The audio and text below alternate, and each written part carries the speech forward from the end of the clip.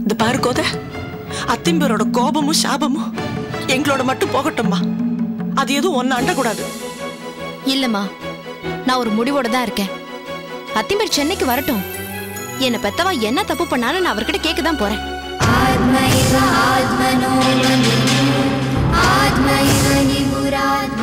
என்ன உங்களுக்கு பிடிக்கிறது? ஆனா என்ன பெத்தவாளை மட்டும் ஏன் உங்களுக்கு பிடிக்காம போயிடுதுன்னு அவர்கிட்ட கேட்க தான் போறேன். கரெக்ட் கோதை. கோதை நீ நினைக்கிற மாதிரி எடுத்த கவுத்தன்னு பேசுற விஷயம் இல்ல அது. நிதானமா நன்னா யோஜனை பண்ணி பேச வேண்டிய விஷயம். விடுங்கண்ணா அவ மனசுல என்னெல்லாம் தோன்றதோ அதெல்லாம் பேசட்டும். எல்லாம் கேட்கட்டும் இல்ல ரங்கம். கெட்டிக்காரி நீங்களாம் தானே அவளுக்கு தலையில கிரீடத்தை வச்சேள். அந்த கெட்டிக்காரத்தனம் தான் அவளை இப்படி எல்லாம் பேச வச்சிருக்கு. நீ என்ன வேணா பேசிக்கோமா. என்ன வேணா கேட்டுக்கோ.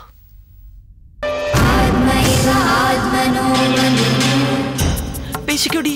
என்ன வேணா பேசிக்கோ என்ன வேணா கேட்டுக்கோ. ஆனா ஒண்ணு மட்டும் சொல்றேன் கோதை. இங்க இருக்கார் பாரு உங்க அப்பா. அவர் மனசுக்குள்ள அக்கா அக்கான்னு உருகின்னு இருக்கார். அவளுக்கு நல்ல வாழ்க்கையை அமைச்சு கொடுக்கணும். அவளை மகாராணியை ஆக்கி வச்சு பார்க்கணும்னு அவருக்கு மனசுல இருக்கு. பெரிய கோட்டையை கட்டின்னு இருக்கு அந்த ஆசை நிராசையா போயிடுமா? இதோ இருக்கானே உங்க அண்ணா அமுத. அவன் மனசுல லக்ஷ்மி தான் அவனுக்கு கல்யாணம் பண்ணி வைக்கணும்னு அத்தனை பேரும் பேசி அவன் மனசுல கோட்டையை கட்டியாச்சு. அதுவும் தரமட்டமா போக போறது.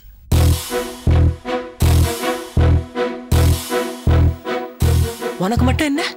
அத்திம்பேர் மந்திரம் சொல்லி திருமங்கல் எடுத்து கொடுத்தா தான் நான் கல்யாணம் பண்ணிப்பேன்னு ஒரு கண்டிஷன் போட்டிருக்கேன். அந்த கண்டிஷனையும் ஒன்னால் நிறைவேற்ற முடியாம போயிடுமே. இதை பாருங்க. என்னை தாங்கிட்டு இருக்கிற நீங்க மூணு பேரும் மனசுல நிராசையோட இருக்கிறத பார்த்துட்டு தாங்கிட்டு என்னால வாழ முடியாதுமா. நான் போய் சேர்ந்துருவேன்.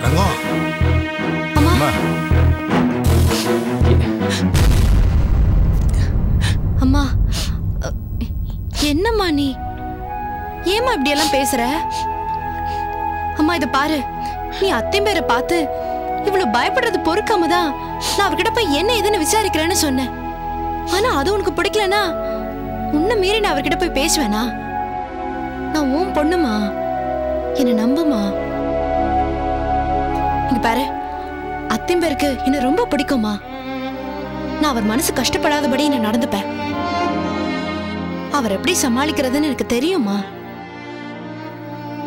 இது பாரு தயவு செஞ்சு அத்திம்பேர் சென்னைக்கு வரப்போறத நினைச்சு நீ வீணா இவ்வளவு கவலைப்படாத. நீ நிம்மதியா இரு. அது போதும். ஆமாம்மா. கோத சொல்றபடி நீ நிம்மதியா இரு மனசை போட்டு அழட்டிக்காத ப்ளீஸ். அம்மா எது நடக்கணுமோ அது நடந்தே தீரும். அது மாத்திர சக்தி நமக்கு கிடையாது. அதனால எது நடந்தாலும் அதை சமாளிச்சுட்டு போவோமே. அப்பா. நீங்களும் இதை நினைச்சு ரொம்ப பயப்படுறீங்கன்னு எனக்கு தெரியறது. அப்பா. தைரியமா இருங்கப்பா. நான் பாத்துக்கிறேன். சரிம்மா. விஜயா மம்மி கிட்ட போய் நான் இந்த விஷயத்தை பத்தி சொல்லிடுறேன். நான் இப்போ ஆஃபீஸ் கிளம்புறேன். சரிம்மா. போயிட்டு வரேம்மா. ம். வரேன்ப்பா.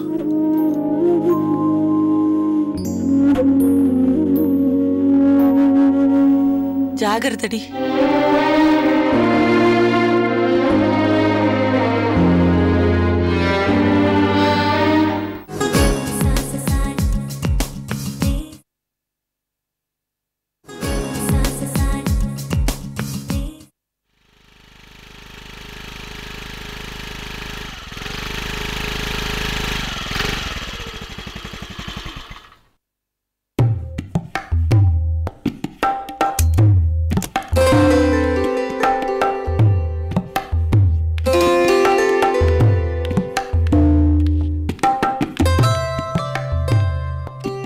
நமஸ்காரம் அத்தை. வா. அம்மா என்ன நீ இன்னைக்கு ஆபீஸ் போலியா?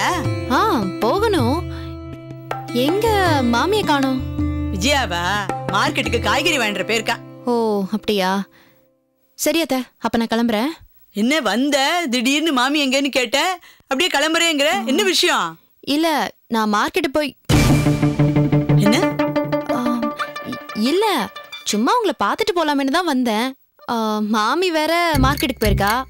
உங்களையும் எதுக்கு டிஸ்டர்ப் பண்ணுவானேன்னு கிளம்புறேன்னு சொன்னேன். அதான். ஒரு டிஸ்டர்பும் இல்ல. உட்காரு நீ.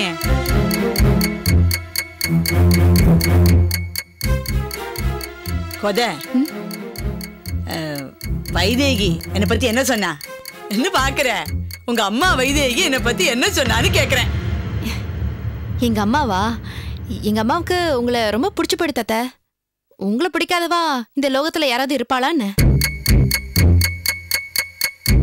எங்க அம்மா உங்களை பத்தி? ஆஹா ஓஹோன்னு புகழ்ந்து தள்ளிட்டா. உங்க அம்மாவே எனக்கு ரொம்ப பிடிச்சு போச்சு. தங்கம்னா தங்கம் பத்திரமாத்து தங்கம். அன்னைக்கு அவசரத்துல வந்தா பேச முடியல. இன்னொரு நாளைக்கு அழிச்சுட்டு வா என்ன? சரி அத்தை. கண்டிப்பா அழைச்சிட்டு வரேன். இப்ப நான் கிளம்புறேன். ம் உன்ன மாதிரிதான் உங்க அம்மாவும். அன்னைக்கு வந்தா சட சடன்னு கிளம்பிட்டா. ஆற மாதிரி எதுவும் பேச முடியல. பூர்வீகெல்லாம் கேட்க முடியல. அதான் இன்னொரு தடவை சவகாசமா வந்தாலாம் எல்லாம் பேசலன்னா கூட்டின்னு வர சொன்னேன். சரி அத்தை. எனக்கு ஆஃபீஸ்க்கு நேரம் ஆயிடுத்து. நான் கிளம்புறேன் அத்தை. ஆ.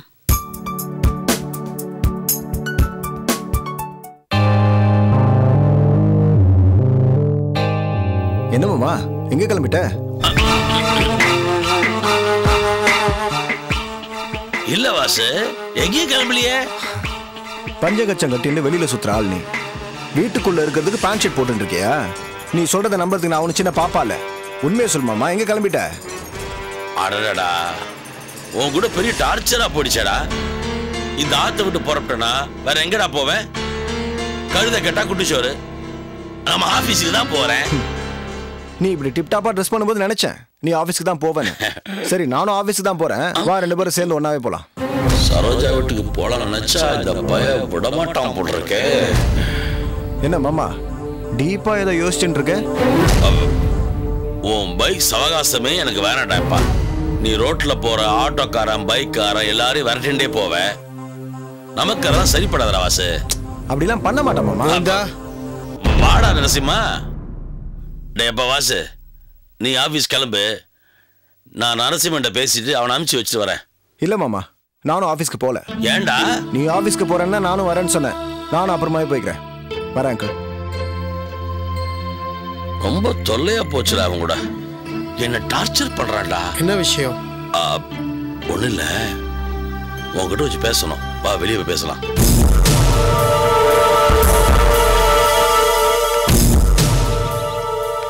என்ன கோவிந்தா? என்கிட்ட ஏதோ பேசணும்னு சொன்ன? பேசாம வந்துட்டு இருக்க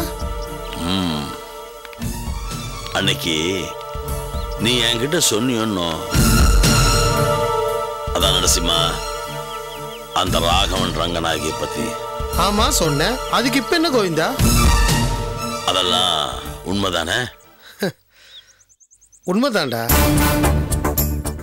என்ன இவ்வளவு உறுதியா சொல்றேன்னு பாக்குறியாடா நீ? தேசிகாச்சாரி பெரிய வேதாந்தி கோவிந்தா? அவர் சத்தியத்தை தவிர வேற எதுவும் பேச மாட்டாரு. இல்ல ஏன் கேட்ட நரசிம்மா? நீ சொன்னதுக்கு அப்புறம் நான் அந்த ராகவன் ரங்கநாயகி வீட்டுக்கு போயிருந்தேன். அப்படியா? ஆமா நரசிம்மா. அவ ரெண்டு பேரையும் பார்த்தா எனக்கு தப்பு பண்ணவளா தெரியலையே. அப்போ மோசமான குடும்பம்னு அவளை பத்தி தேசிகாச்சாரியார் சும்மா சொல்லியிருப்பான்னு நினைக்கிறியா? அப்படியும் நினைக்க முடியல. நீதான் அந்த தேசிகாச்சாரியார். பெரிய வேதாதி சத்தியத்தை தான் பேசுவாரு சொன்னியே. ஒன்றும் புரிய மாட்டேங்கிறதே. ஏன் கோவிந்தா? யாரோ ஒரு ராகவன் ரங்கநாயகி அவ மோசமான குடும்பமா இருந்தா என்ன? கௌரவமான குடும்பமா இருந்தா நமக்கு என்ன? நீ ஏன் இப்படி அவளை பத்தி யோசிச்சு மண்டையை போட்டு உடைச்சிக்கிற? இல்ல நரசிம்மா இதுல ஒரு கணக்கு இருக்கு. அந்த ராகவன் ரங்கநாயகிக்கு ஒரு பொண்ணு இருக்கா? பேரு கோத. மகாராங்கிக்காரி அவ என் மாப்பிள்ள ரங்கநாத ஆபீஸ்ல தான் வேலை பார்க்கறான் அப்படியா? ஆச்சரியமா இருக்கு. அந்த ராகவன் ஆட்டோமொபைல் இண்டஸ்ட்ரீஸ்ல பெரிய ஆளுன்னு கேள்விப்பட்டிருக்கேன். அவர் பொண்ணு ஓ மாப்பிள்ளை கம்பெனியில் எதுக்கு வந்து வேலை பார்க்கணும்? அதான் சொன்னனே. அவ ஒரு ராங்கிக்காரின்னு. அப்பா பிசினஸ்ல கூட இருக்கிறது. அவளுக்கு கௌரவ குறைச்சலாம். சொந்த கால்ல தான் சுயமா நிக்கணுமா? அதான். என் மாப்பிள்ளை கம்பெனில வந்து வேலை பார்த்துட்டு இருக்கான். எனக்கு அவ பல வகையில இடைஞ்சல் கொடுத்துட்டு இருக்கான். அவ குடும்பத்தை தேசிகாச்சாரியார் ஏன் மோசமான குடும்பம்னு சொல்லணும்? அதுக்கு என்ன காரணம்? இதையெல்லாம் நான் தெரிஞ்சுக்கணும். அப்புறம் பாரு அந்த கோதை என்கிட்ட படுற பாட்டை.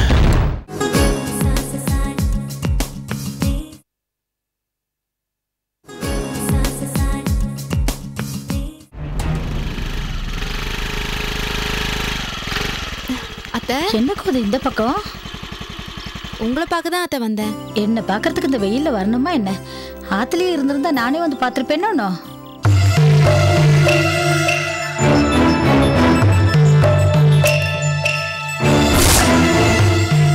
இல்ல அத்தை உங்களை தனியா பார்த்து பேசணும்னு வந்தேன். கோமலா மம்மி தான் நீங்க மார்க்கெட்டுக்கு போயிருக்கிறதா சொன்னா. சரி அதுவும் நல்லதாச்சு. உங்களை தனியா பார்த்து பேசலாம்னு மார்க்கெட்டுக்கு வந்துட்டு இருந்தேன். தனியா பேசணும்னு என்கிட்ட வந்தியா? அப்படி என்ன விஷயம்? சரி சொல்லு. நமஸ்காரம் மாமி. அடடே நரசிம்மாச்சாரியா? ஆமா. நமஸ்காரம். நன்னா இருக்கேளா? நன்னா இருக்கேன். ஆமா உங்களை நான் இங்க சென்னையில பாப்பேன்னு நினைச்சு கூட பார்க்கல. ரொம்ப ஆச்சரியமா இருக்கு. என் ரெண்டாவது பொண்ணு சாரா சென்னையில் தான் வேலை பார்த்துட்டு இருக்கா. அவளுக்கு துணையா கோமலாக்கா வந்திருக்கா. அவ ரெண்டு பேரையும் பார்த்துட்டு போலாமேனுட்டு தான் நானும் லக்ஷ்மியும் சென்னைக்கு வந்திருக்கோம். வந்து ஒரு வாரம் ஆயிடுத்து. அப்படியா? ரொம்ப சந்தோஷம். ஆமா உங்க பொண்ணுக்கு வரன் தேடிட்டு இருந்தலே. நல்ல வரனா அமைஞ்சதோ? எங்க மாமி? ஒன்றும் சரியா அமைய மாட்டேங்கிறது. நல்ல வரனா இருந்தா ஜாதக பொருத்தம் இல்ல. ஜாதகம் பொருத்தம் நன்னா இருந்தா வரன் சரியா அமையறது இல்ல. சொல்றேன்னு தப்பா எடுத்துக்காதீங்க. உங்க தம்பி ராகுனோட புள்ள ஜாதகம் கூட நல்லா இருந்தது. ஆனா உங்க ஆத்துக்காரர் தேசிகாச்சாரி மாமா அந்த குடும்பத்துல உன் பொண்ணை கொடுக்காத. அது மோசமான குடும்பம்னு சொல்லிட்டார். அதனால அந்த வரனும் தட்டி போயிடுத்து.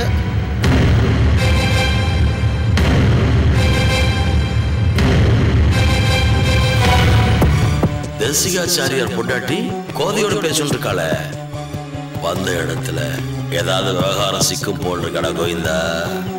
ஆ சொல்ல மறந்துட்டேனே. இவன் கோவிந்தன் என் உறவுக்காரன். நமஸ்காரம். நமஸ்காரம். ரொம்ப தாராள குணம். கஷ்டப்படுறவன் யாரை பார்த்தாலும் பொறுக்காது உடனே ஹெல்ப் பண்ணிடுவான். பெரிய பிசினஸ்மேன் ஓ சரி. ஆ நரசிம்மா பக்கத்துல இருக்க பாரதி தெருவில் தான் எங்க ஆம இருக்கு. ஒரு நட வந்துட்டு போயே. நான் இன்னொரு நாள் வரேன் மாமி. சரி நாங்க புறப்படுறோம். நாங்க வரோம் சரிங்க மாமி. ம். போலாமா? ம்.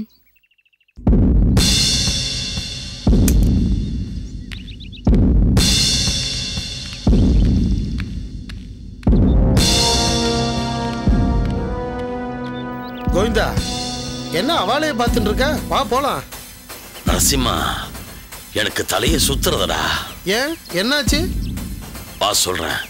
எனக்கு கொஞ்சம் யோசிக்க வேண்டியது இருக்கு.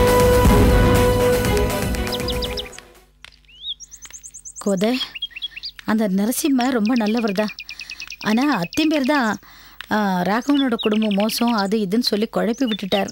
அத்தின் பேரை பற்றி தான் உனக்கு நன்னா தெரியுமோனோ? நீ எதையும் மனசில் வச்சுக்காத. இல்லத்த நடந்து முடிஞ்சு போன விஷயத்துக்காக வருத்தப்படுறதுல எந்த பிரயோஜனமும் கிடையாது. ஆனா இப்ப என் யோஜனையெல்லாம் நரசிம்மாச்சாரி கூட இருந்த அந்த கோவிந்தனை பத்தி தான் என்ன? ஆமா அத்த அந்த கோவிந்தன் ரொம்ப மோசமான ஆளு. எங்க ஆபீஸ் எம்டியோட சொந்த மச்சன அவன். அப்படியா? அவர் உன்னை தெரிஞ்ச மாதிரி காட்டிக்கலையே.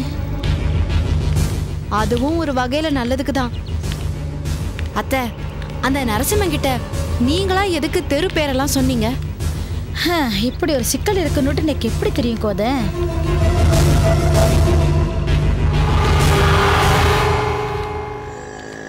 ஆமா என்கிட்ட ஏதோ முக்கியமான விஷயம் சொல்லணும்ட்டு வந்தியே. என்ன விஷயம்? ஆ அத்திம்பேர் ஊர்ல இருந்து வராராம். என்ன? அத்தின் பேர் ஊர்ல இருந்து வராரா? ஃபோன் பண்ணியிருந்தாரா? இல்லத்த அத்திம்பேர் சடகோப்ப மாமா கிட்ட சொல்லியிருக்கார் போல இருக்கு. அவர் எங்க அப்பாவுக்கு ஃபோன் பண்ணி சொல்லியிருக்கார் ஏன்னா அத்திம்பேர் இங்க வர நேரத்துல எங்க அம்மா உங்க ஆத்துக்கு வந்து அதனால ஏதாவது குழப்பம் ஆயிடக்கூடாது பாருங்க. நமக்கு நல்லது நடக்கணும்னுட்டு எத்தனை பேர் எப்படிலாம் கஷ்டப்பட்டுட்டு இருக்கா பாரு. ஆமா அத்த சரி எனக்கு முக்கியமான வேலைங்க இருக்கு. நான் ஆஃபீஸ்க்கு போகணும். கிளம்பட்டுமா? பார்த்து போயிட்டு வாமா சரிங்க அத்த நான் அப்புறமா வரேன். சரி ஜாக்கிரதையா அதுக்கு போங்க. ம். ம்